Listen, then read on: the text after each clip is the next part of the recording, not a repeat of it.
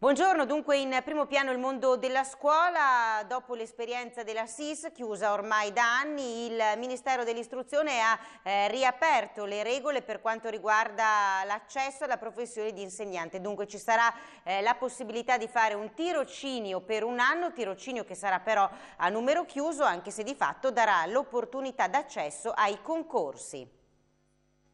Insegnanti a numero chiuso in Trentino. La buona notizia è che è stato riaperto l'accesso alla professione. La cattiva, se vogliamo, è che i posti sono calibrati a seconda delle necessità, ma resta comunque elevata la possibilità di trovare lavoro dopo la laurea.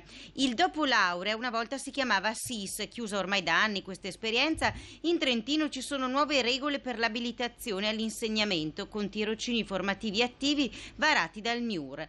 Per l'Università di Trento la gestione è in capo alla Facoltà di Scienze Cognitive in collaborazione con Lettere e Filosofia, Scienze Matematiche, Fisiche e Naturali. 153 i posti disponibili per il primo anno. Dopo la laurea, quindi tirocinio di un anno necessario per accedere ai concorsi. Esame finale.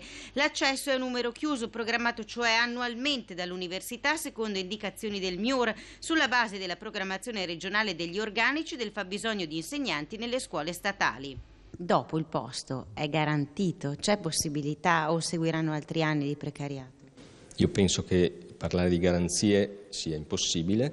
Il fatto che noi abbiamo, in accordo con la provincia, definito un numero di posti molto eh, contenuto, 153 per quest'anno, mm, non dico che sia una garanzia, ma ovviamente fa aumentare le, le probabilità di eh, successo nel futuro professionale per coloro che riusciranno a superare tutte le varie prove.